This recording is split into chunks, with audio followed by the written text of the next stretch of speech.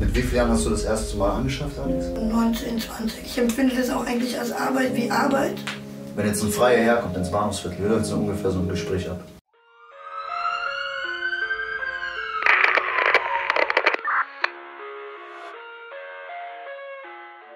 Hi, ich bin die Alex und erzähle euch heute ein bisschen was von meiner Arbeit früher mit meinen Kunden und so.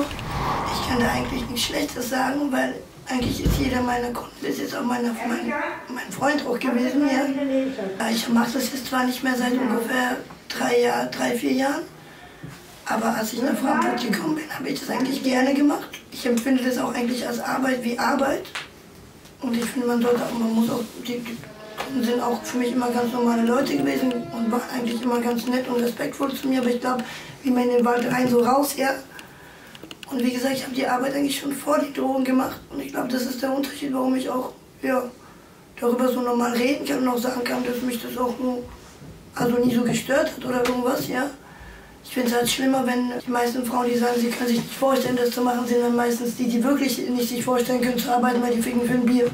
Die tun wirklich nicht arbeiten. Mit wie vielen Jahren hast du das erste Mal angeschafft, Alex? Das war 19, 20. Ich sehe ich seh das einfach als ein Geben und Nehmen. Ich meine, der Mensch hilft mir, ich helfe den Menschen, ja. Und wie gesagt, es, ich will jetzt hier nicht für irgendwie 10, 20 Euro in den Park, sondern jeder von den Menschen, wie gesagt, ist mir auch sympathisch und ist auch mein Bekannter gewesen damals. Und in dem Moment, wo ich da nicht mehr das Gefühl hatte, das zu machen, habe ich auch aufgehört. Okay, und jetzt, seit wann machst du das nicht mehr? Seit ungefähr drei, vier Jahren weiß ich. Ich weiß auch nicht, es war irgendwie so ein Klick bei mir. Wie erwirtschaftest du dann derzeit deinen Drogenkonsum? Ich tue meistens äh, bisschen was so verkaufen oder vermitteln. Ich bin jetzt schon in Rente, habe ich schon ein paar Mal erwähnt. Ich tue jetzt eher so, das, was ich früher gemacht habe, tue ich dann eher so meistens andere Frauen vorstellen, so super, was hat alte Frauen, was alte Nutten halt machen müssen.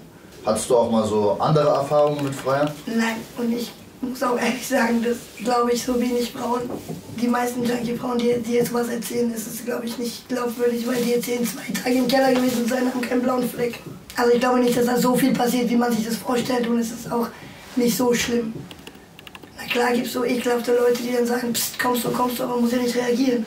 Man muss auch nicht sagen Ja zu etwas, was man nicht will. Also dieses, dieses komische Klischee, so, oh, der ekelhafte Freide, die arme Junkie-Nutte ausnutzt. Es entsteht immer nur eine Situation durch beide Seiten. Das kann ich ja gerne ausnutzen, wenn du nicht mitkommst, oder? Aber kamst du nie in so eine gefährliche Situation, wo, du, wo es schon gesagt, mal brenzlig für dich wurde? Wie gesagt, wenn du einfach, ich muss sagen, komischerweise nein. Und ich glaube, von zehn Geschichten sind 110% acht gelogen bei den anderen Frauen. Aber es, ich glaube, das war bei dir so der Fall, dass du halt mit vielen vertrauten Personen das halt eher gemacht hast, oder? Nein, man muss ja jeden erstmal kennenlernen. Wenn du das erste Mal mit jemandem mitgehst, ist ja immer das erste Mal, oder? Aber du siehst ja, wer vor dir ist. Verstehst du, was ich sagen will? Ja, klar. Wie läuft denn das ungefähr ab, dass sich die Zuschauer mal so ein Bild machen können? Wenn jetzt ein Freier herkommt ins Bahnhofsviertel, wie läuft so ungefähr so ein Gespräch ab? Also wenn ein Kunde kommt dann, also ein Gespräch, ganz normal, man sagt sich, hallo, wie geht's? Dann frage ich, hast du Lust, was zu machen? Und dann redet man darüber, wo man hingeht. Draußen, Auto, Hotel, keine Ahnung, Zeit. Nein, Spaß. Ähm, ja, und dann sagt man, wie viel das Zimmer kostet. Eine halbe Stunde 20 Euro, das Zimmer. Dann bespricht man darüber, was man machen möchte. Ja. Sprichst du eher die Männer an oder sprechen dich die Männer an? Das, das ist eigentlich gegenseitig ich oder sie, das ist gegenseitig, ja. Da kann man jetzt nicht sagen, ich mehr oder die Männer mehr. Was glaubst du, Alex, warum die Leute sich Frauen von der Straße suchen und nicht ins Laufhaus gehen zum Beispiel? Da gibt es zwei Gründe. Also es gibt auf eine Art dieses bisschen nicht so schön, das sind eher so die Männer, die sich ein bisschen ihr Ego hochziehen wollen. Weil bei einer Junkie-Nutte bist du immer oben. Oder die einfach wirklich es dann doch günstig wollen oder auch für lange. Es gibt ja auch Männer, die sagen zu mir, kommst du mit mir nach Hause, hast du Essen, hast du Schlafen. Es gibt auch so Leute. Oder manche Leute, die einfach, keine Ahnung, zum Beispiel Leute, die rauchen wollen, ja, und was machen wollen, die können ja nicht ins Laufhaus gehen, weil das wäre auch, weißt du, was ich meine? Die einfach nur ein bisschen mit erst reden wollen, was rauchen wollen und dann was machen wollen. Das gibt die zwei Gründe. Es gibt ja auch Laufhäuser, die, nennen, die, nennen, die nennen sich so unter den Kunden AO-Haus, alles ohne. Das gibt auch alles im Laufhaus. Man entscheidet sich ja alles selber. Ich war vier Jahre anschaffen, bin 13 Jahre jung, habe nicht eine Krankheit bekommen und habe nicht eine schlechte Erfahrung mit einem Kunden. Aber es kann auch gut sein, dass manche Leute jetzt nicht so sind, wie du jetzt zum Beispiel siehst, keine Ahnung. Ich meine, es ist ja nicht immer so, wie man sich das vorstellt. Man geht mit einem Freier mit und dann schläft man mit ihm, sondern die haben ja auch andere Wünsche. Ja? Man muss ja zunächst Ja sagen, was man nicht machen will. Definitiv, klar, klar. Aber äh, was jetzt zum Beispiel vielleicht für andere dann vielleicht krass erscheint, ist für dich vielleicht nicht krass. So, wenn ich mit vielen Leuten spreche, erzählen die immer wieder zum Beispiel, keine Ahnung, ein Kunde wollte einfach Also der wollte jetzt keinen Sex haben, sondern er wollte einfach beispielsweise angeschissen werden. So. Es geht ja auch keiner anschaffen. Es war noch nie einer anschaffen. Es war noch nie einer für 10 Euro blasen. Also es ist, es ist so, keiner klaut, alle sind ehrlich. Soll ich euch sagen, alle Junkies sind tolle Menschen.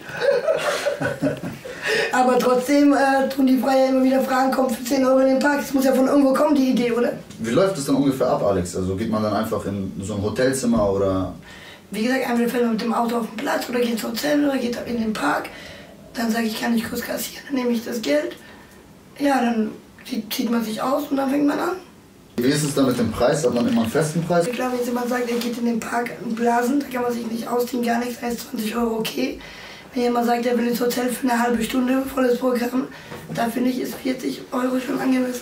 Und wie kann man sich so ungefähr einen Freier, den klassischen Freier im Frankfurter Bahnhofsviertel vorstellen? Was sind das so für Menschen, die hierher kommen? Was du ist? Banker, das andere ist ein Hausmeister, der andere arbeitet beim Tumarkt, der andere, äh, einer ist äh, Lokführer. Ich weiß, was macht der andere? Der andere, wie gesagt, einer arbeitet beim TUM, einer ist Lokführer. Der andere ist Anwalt, alles Mögliche. Du hast auch im Laufhaus gearbeitet, Alex, ne? Nein, nicht im Laufhaus, ich habe als Masseurin gearbeitet. Mit Happy End. Genau. Für uns beide. Ich hatte Geld, er hat einen Orgasmus.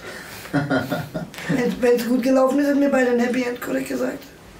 Und im Laufhaus hast du nie gearbeitet, auf der Nee, Straße. ich finde es zu teuer, 150 Miete. Ja. Würdest du sagen, eine Frau auf der Straße macht manchmal mehr Geld als eine Frau im Laufhaus? Kann man nicht sagen. Ich glaube, es ist gleich oder weniger. Weißt du, man braucht bei dieser Arbeit eins und das ist Sitzfleisch. Das ist einfach nur Warten. Das ist einfach ein Wartejob.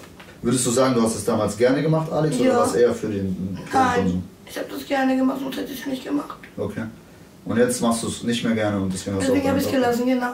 Ich meine, wie gesagt, manche gehen in die Disco jeden, jedes Wochenende und ja, wachen neben jedem anderen auf jedes Mal. Nach drei, vier, nach drei, vier Drinks sagen, oh mein Gott, ich war besoffen, es war ein One-Night-Stand. Und ja, und die anderen arbeiten einfach drei, vier Jahre. Dann danken wir dir vielmals für deine ehrliche Art und Weise, wie du das Ganze erzählt hast. Ja. Und wünschen dir weiterhin alles Gute. Und wenn die Leute irgendwelche Fragen haben, können sie die gerne in die Kommentare stellen. Die werden wir dann Alex beim nächsten Video stellen. Und hast du vielleicht noch ein paar Worte an die Leute draußen, Alex? Es wäre so toll, wenn ihr nicht ständig auf der Straße mit dem Finger auf mich zeigt und sagt, das ist die von YouTube oder hi, ich habe dich in YouTube gesehen. Es wäre echt so mega cool. Danke. Ganz wichtig, also für dich ist es okay, dass dieses Video auf YouTube Ja, ja, nee, das ist schon alles cool, ja. Ja, das Es ist halt nur so, weißt du, wenn dann am Tag so 10, 20 Leute sagen, oh, du bist auf YouTube, oh, du bist auf YouTube. Und dann stehen Leute vor dir und sagen einfach nur, ja, ich habe dich da gesehen und, und dann und, denke ich mir so, Was und, willst du jetzt? und was jetzt, weißt du, und dann stehen manchmal Leute neben mir und das ist auch echt scheiße in so einer Situation, weißt du, was ich meine? Ja, okay. Also wünsche ich dir auf jeden Fall ein bisschen mehr Privatsphäre hier auf der Straße. Ja, nee, das ist doch scheiße, Leute, oder nicht? Ich meine, wo das mit euch passieren. Ja, manche genießen das ja. Also manche, wenn Ich, die ich genieße es nicht. Ja. ja, klar. Manche sehen das ja dann so, kann man sagen, ich habe Fans und sowas. Und die freuen sich dann mega drüber. Was sagst du so dazu? Ja, ich, man kann ja sagen, ich, ich sag doch ni- nichts dagegen, dass man, dass man sagt, hi, wie geht's, oder ich bin, oder ich hab dich da gesehen, oder ich finde dich toll. Aber dieses andere, ich hab dich doch in YouTube, das ist doch die aus YouTube. Das ist doch, das ist doch respektlos, so, das ist die und dann beim Vorbeilaufen und so mit Fingern zeigen, das ist doch scheiße, doch beschissen. Ja, Leute, macht auf jeden Fall so einen Ja, es Spaß. gibt Leute, die filmen heimlich, wenn sie Klamotten verteilen. Ja, macht man auch nicht. Ja, macht man auch nicht. Und man schreibt dann auch nicht in die Videos oben an Alex Klamotten verteilen, Missgeburten. Auf jeden Fall filmt die Leute nicht heimlich. Wenn ihr die filmen wollt, fragt. Genau. Schau mal, wir machen auch mit Alex ein Video. Wir haben sie ganz freundlich gefragt. Sie ist auch am Start, sie hat Bock drauf. so. Und wenn die Leute Lust haben, dann machen die mit. Wenn die keine Lust haben, dann erzwingt das Ja, aber die fragen ja gar nichts alle. Macht das auf jeden Fall nicht. Stellt euch vor, das wäre eure Mutter, eure Schwester, die auf der Straße Ja, ist. und du, du kannst hier, du kannst hier nicht wehren. Dann sagt sag doch, was willst du als, was willst du als Junkie sich wehren? Macht auf jeden Fall nicht so eine Scheiße. Vielen Dank für deine Zeit, Alex. Wir wünschen dir alles Gute. Danke. Und bis zum nächsten Mal. Bis zum nächsten Mal.